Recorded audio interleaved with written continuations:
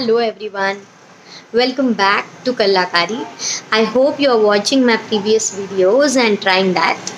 Like every week, today also we are going to make something different. As you know, we are using masks these days.